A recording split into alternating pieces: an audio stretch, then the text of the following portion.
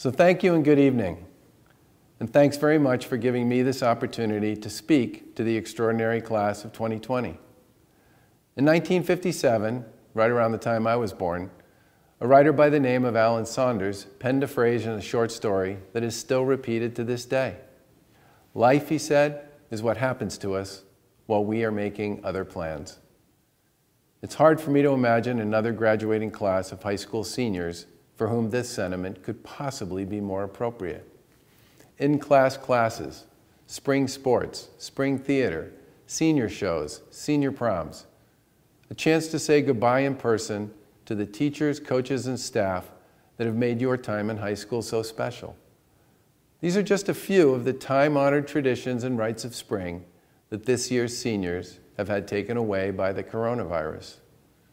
Add to that the loss of traditional graduation ceremonies, and the takedown is totally complete. Now, as the father of three children who were able to enjoy the final few months of their senior years of high school here in the Commonwealth, I feel terrible about how this has all played out for you. This is not the fond farewell you earned or you deserve. But life, as Allen Saunders would say, had other plans. So, what can I say to the class of 2020 to make any of this sting a little less? Well, let's start with this.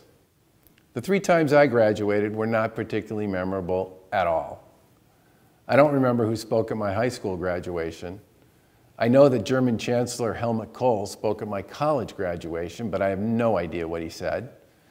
And General Motors CEO Roger Smith spoke at my business school graduation, and I don't remember what he said either. Now, I do remember fondly my spring sports season in high school, the final conversations and the goodbyes and good lucks that I shared with my coaches and teachers, school administrators, and classmates, and I remember my senior prom. But what sticks with me the most were not those final moments. It's the papers and projects that I worked on with my teachers and classmates that really grabbed my attention. The friendships that I made that remain with me today pretty much the whole package of my time growing up. From middle school through high school and the ups and downs that came with all of that. I also remember having no idea what to expect from that point forward. More the same? Something different? How would I do when I began to write the next chapter of my life? Looking back on my own experience from that point forward, I think you should know that the next chapter, as crazy as the conclusion of this one may seem, will be more complicated. You're now young adults, and the choices you make will be, more so than ever before, yours and yours alone. The consequences in both directions will belong to you as well. So do yourself a favor and make good choices. Now, I know that seems pretty simple, but it won't be. I can almost guarantee that at some point in the next few years, you're going to look at yourself in the mirror and say, What was I thinking? And the answer will be, You weren't. Many years ago, I was at a party when I was just a little older than you. We were in somebody's basement, the ceiling was low, one thing led to another, and the next thing I knew, we were all jumping up and down and hitting the ceiling tiles with our heads. We weren't breaking them, just dislodging them. Pretty smart, right? Anyway, I went up the fourth or fifth time when it was my turn and smashed my head into a beam in the ceiling that ran right above the ceiling tiles.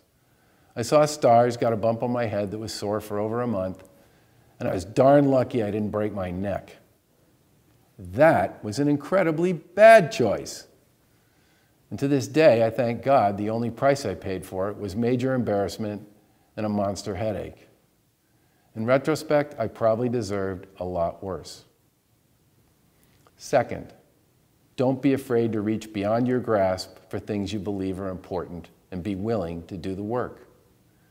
The artist Michelangelo once said that the greater danger for most of us lies not in setting our aim too high and falling short, but in setting our aim too low and achieving our mark.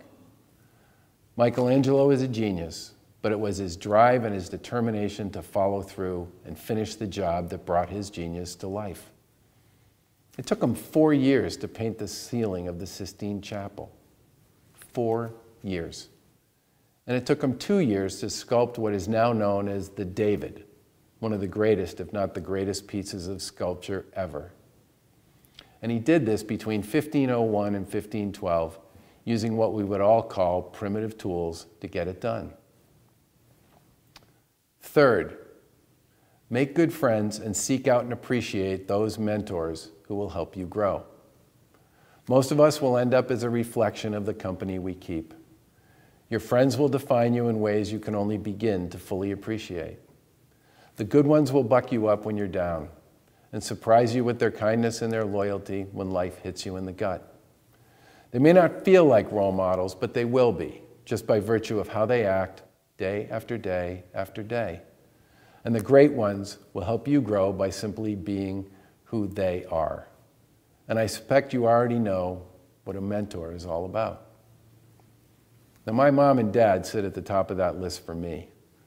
Their 60 years of marriage, and especially the last 10, when together they battled my mom's Alzheimer's disease with humor and grace before she died, will always be with me. They played the hand they were dealt like champions, and my brothers and I had ringside seats to witness the whole thing. Parents, teachers, coaches, bosses, co workers, friends. The great ones will challenge you and help you grow because they see something in you that can make you great. They will pick you up when you fall, they'll hug you when you need it, and they'll call you out when you deserve it. Grab onto them and never let them go. Because when I think back on all the stuff that's happened in my life, the ups and the downs and everything in between, the things I could control and the things I couldn't, the times I tried and succeeded and the times I tried and failed, what I remember most are the people I shared the best and the worst of times with and all that time in between. The things they said and did and how they made me better than I would have been without them. Coronavirus is here for now, and it will be a story that you can tell in whatever way works for you for the rest of your life. But it does not and it should not define your future. You, along with those you bring along for the ride, will make that happen. Make good choices, strive to be great, put in the work, and appreciate the people who will help you become your very best self. That's what will last, and that's what will matter most as you write the next chapter in your extraordinary life. God bless and good luck to the class of 2020.